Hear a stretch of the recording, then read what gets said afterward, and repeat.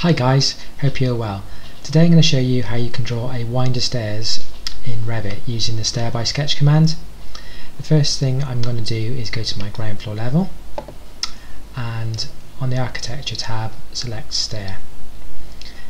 As you can see there are tools in Revit that you can use to create winder stairs. There's the L-shaped winder and the U-shaped winder. I'm not going to be using either of these today. Um, I find these to be quite clumsy to use and never seem to get the outcome that I'm looking for. So today we're going to be using the create sketch option.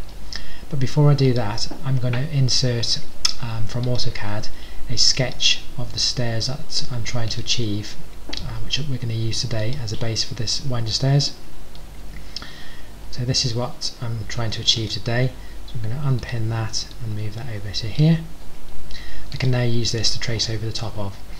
So back to the architecture tab, stair, and I need to choose, make sure that I'm doing this in the correct type of stair. So residential timber stairs, that's fine. Base level from ground floor finished floor level to the top level, which is the first floor level. My desired number of risers today is 14. Okay, so all the parameters there are okay.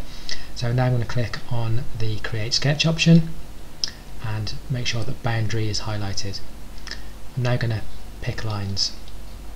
So I'm going to select the outer edges of the stairs to create the outer boundary. I'm not going to select this line here or this line here because that is my first and last riser and you don't include those as part of the boundary. Next I'm going to click on the riser button here and again pick lines. You'll notice here at the moment it says zero risers have been created and 14 remaining.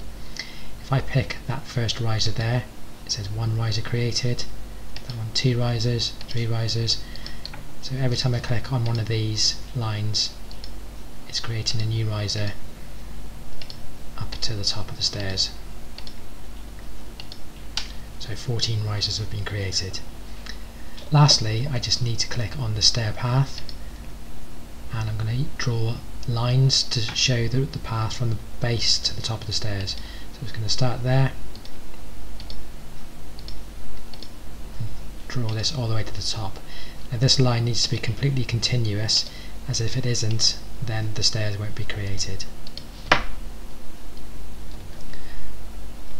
Now I'm going to click the finish edit mode, check the stairs. Okay, so the arrow is actually pointing in the wrong direction, which is fine. I can click on the flip stairs command at the top here, so I'll click that and now that's where it starts, that's where it finishes and I'm going to click the finish edit mode once more to complete the stairs and now I'm going to delete the AutoCAD sketch to get that out of the way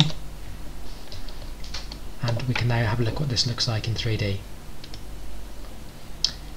There we have our very simple winder staircase. Looks quite effective.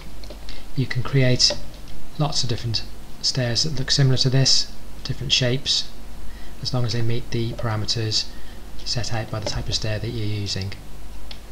Well, this is very simple stairs and I hope you enjoyed this video. Um, I'm hopefully going to be doing more videos like this soon, so please subscribe to my channel. Bye for now.